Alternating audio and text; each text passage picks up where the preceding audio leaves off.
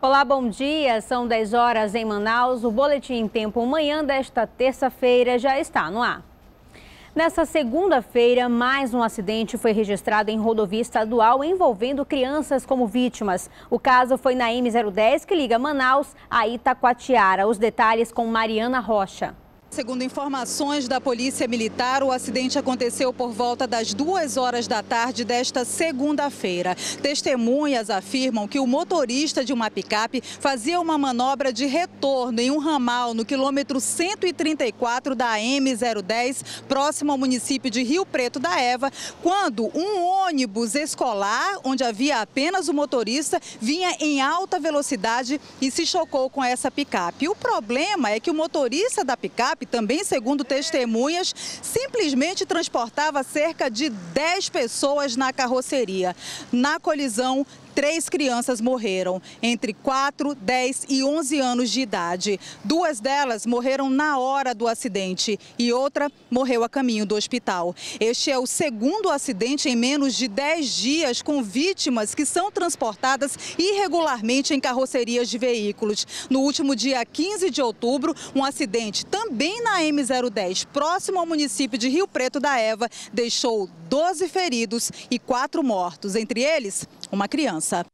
Segundo a família das vítimas, as pessoas que foram encaminhadas para o hospital João Lúcio já foram liberadas. Os corpos das três crianças que morreram no acidente também já foram liberados. Railena Mendes e Laura Mendes serão veladas em Rio Preto da Eva. Já Gleidson Alves é velado aqui em Manaus. Agora a gente fala de eleições, porque hoje à noite tem debate aqui na TV em Tempo com os candidatos a prefeito de Manaus. E olha, o formato é inovador porque os eleitores vão estar cara a cara com os candidatos. A equipe se reveza nos últimos preparativos para o debate da TV em Tempo. Assentos foram espalhados no estúdio para que os eleitores participem diretamente do debate. Ao todo, 20 eleitores escolhidos aleatoriamente, de diferentes bairros, profissões e idades, além de quatro jornalistas, vão fazer perguntas livres para os dois candidatos. Em um novo formato de debate, os eleitores vão ficar assim, cara a cara com os candidatos candidatos a prefeito de Manaus para tirar todas as dúvidas sobre as propostas de Arthur Neto, do PSDB, e Marcelo Ramos, do PR. Você de casa vai poder acompanhar isso em tempo real também pelas redes sociais. A gente vai estar transmitindo pelo Facebook.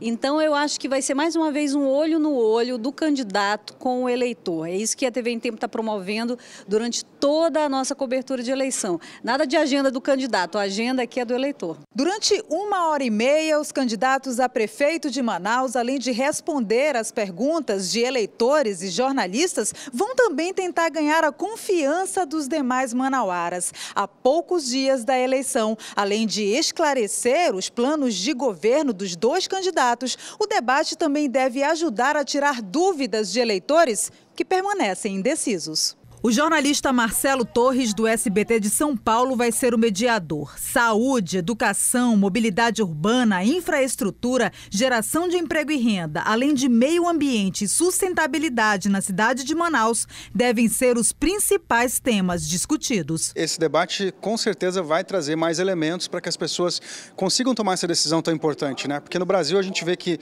nos últimos anos a política, tá, apesar dos, das péssimas notícias que a gente vê por aí, ela se tornou um assunto mais debatido. As pessoas estão falando mais de política, elas estão mais interessadas em política. Então a gente espera que esse interesse seja usado para que as pessoas façam uma boa escolha, escolham quem de fato pode melhorar a vida delas e a vida da cidade como um todo. É hoje, a partir das 10 da noite, aqui na TV em Tempo. E com a proximidade do Dia de Finados, os cemitérios começam a ser limpos tanto pela CEMUSP quanto pelos familiares. O Dia dos Finados está chegando e, como já é tradição, milhares de pessoas visitam os entes queridos. Cerca de 500 mil pessoas estão sendo esperadas para prestar homenagens nos cemitérios de Manaus no dia 2 de novembro, quando é comemorado o Dia dos Finados. São 10 cemitérios em Manaus, sendo 6 na capital e 4 na zona rural. Os trabalhos de limpezas estão sendo intensificados. Olha, nós estamos com cerca de 200 agentes de limpeza, dividido em equipes é, e trabalhando no nos três turnos para que a gente entregue até o dia 30 todos os seis cemitérios que compõem eh, esse, eh, esse esquema de, de cemitérios públicos no município de Manaus. Esta senhora, há oito anos, faz a limpeza da sepultura da mãe dela. Todo dia, dia de finado, eu venho aqui limpo, pelo menos fazer homenagem para minha mãe. Eu queria que ela estivesse aqui, mas infelizmente não está. Aí a família vem toda para cá, dia 2, e prestar essa homenagem para minha mãe. A dona Iris e o esposo dela, o Carlos, vão sempre no dia 24 ao cemitério porque é mais tranquilo para fazer a limpeza e os reparos no túmulo nós eh, decidimos que dia 24, dia do aniversário da cidade, a gente viria com antecedência, porque no dia 2, antes do dia 2, na semana que antecede o dia 2, é muito tumultuado o cemitério, por ser um cemitério tradicional, enfim. Né? Aí a gente vem com antecedência, faz a limpeza, faz toda essa homenagem para no dia 2 estar tá tudo, a sepultura está pronta. Essa parte de zelar a sepultura fica mais para a família, é assim uma dedicação que a gente tem para aqueles que já fizeram tantos pela gente. A gente não vai deixar que o mato tome conta. E a gente está sempre zelando. A nossa família sempre zela no dia 24, porque com a antecedência a gente faz com mais tranquilidade. Por causa do clima seco, a CEMUSP recomenda a substituição da vela por flores para evitar incêndios. E se essa homenagem, que é uma, uma coisa cultural, tradicional, pudesse ser trocada, trocar uma vela por uma rosa, por uma flor, por uma oração, a gente agradece e o meio ambiente também. No dia 2 de novembro, o trânsito deve ser alterado nas proximidades dos cemitérios, em pontos estratégicos. Agentes da SMTU fiscalizarão os pontos de ônibus e a segurança vai receber um reforço da Polícia Militar e da Guarda Municipal. E olha, o calor ainda não deu trégua, né? Nesse período do ano, o consumo de água aqui na capital aumentou 20% e isso tem refletido no bolso dos consumidores. Em tempo de verão amazônico, os termômetros chegam a marcar 38 graus. E nas ruas, a sensação é essa: muito calor. Pô, bastante quente, ó. A temperatura tá demais com o calor. Agora, protetor solar, sombrinha e muita água. Encontrar quem resista àquela garrafinha de água mineral é tarefa difícil. Com esse calor horrível aí, mano, tem que comprar água. Bom, para refrescar não dá, né? Mas dá para harmonizar, para matar a sede dá. E quem tá aproveitando não são só eles não, viu? Tom também. Desempregado há seis meses, achou uma maneira de ganhar dinheiro mais rápido, vender água. Ultimamente estou sem emprego também.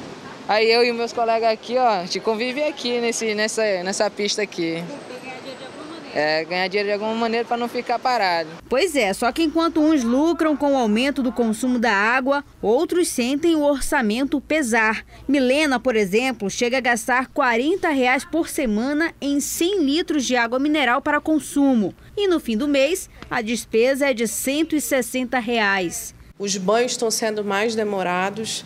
E o consumo de água também que nós ingerimos passou de dois garrafões semana para cinco garrafões por semana.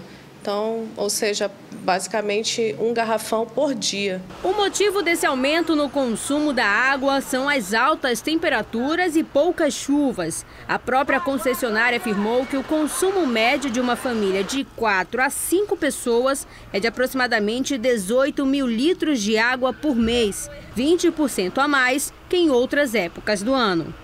Nós estamos no último mês considerado o período menos chuvoso, né, o verão amazônico, como é chamado. Né, então, espera-se ainda que eh, esse mês ainda tenhamos é, temperaturas bastante elevadas, que é normal.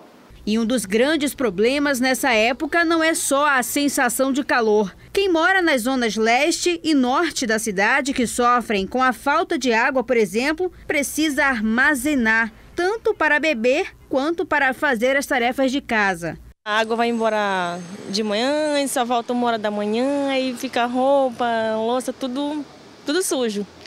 Aí ela vem e aí quando é mais horinha vai embora e tem que esperar ela chegar de novo. Fica difícil. Daqui que a gente é, pega água para beber, para fazer alimentos, né? Para se cozinhar, então é, a única opção nós temos é esse poço aqui, né? Porque assim a água servida frequentemente falta aqui no bairro do Coroado. Muito difícil. Às vezes tem pessoas também no bairro que não tem ar refrigerado, né? Aí tem que ficar num calor medonho, não tem nem água para tomar banho. A empresa responsável pelo abastecimento na capital não quis falar sobre a falta d'água em algumas áreas da cidade. O Rio Negro fornece 90% da água que é distribuída em Manaus. Por segundo, são captados 7.500 litros até chegar nas torneiras das casas. Enquanto o calor não dá trégua, o jeito é se hidratar como pode. Muita água, muito suco e ficar na sombra. Ó, oh, na sombrinha. São 10 horas e 10 minutos. O Boletim Tempo Manhã termina aqui. Mas não saia daí, porque daqui a pouco tem o programa agora às 10h50. Até a próxima.